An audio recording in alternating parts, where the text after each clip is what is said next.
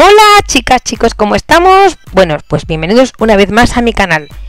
Y os voy a hacer con fotografías, pues no, es como una narración, cómo limpiar una sartén para que no se peguen las comidas posteriores que hagamos.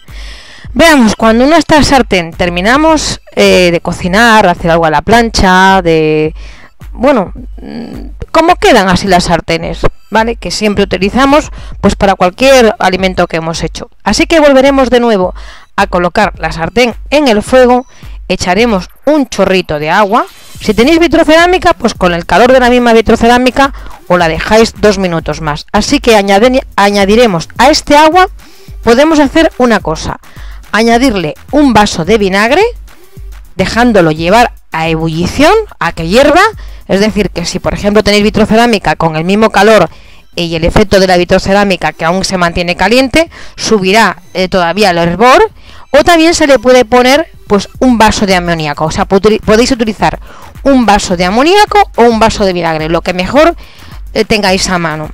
Entonces la sartén os quedará impecable, limpia, le pasáis una fregada y ya está. Otra cosa, cuando la sartén se pega, una cosa mm, que va genial es el sal o la sal, como le queráis llamar.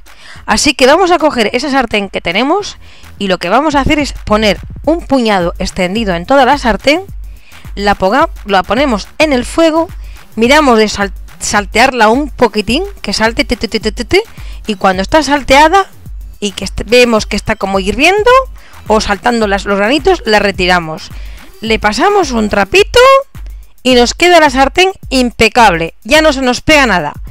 Bueno, pues espero que este truco os haya servido para vuestra cocina habitual. Un besito a todos y todas. ¿Qué te crees? ¿Que me voy a ir de rositas? Pues espérate a ver lo que viene. Así que como tiene copyright, imaginaos, adivinar, adivinar a quién estoy imitando. Aquí os dejo. ¡Qué mala soy!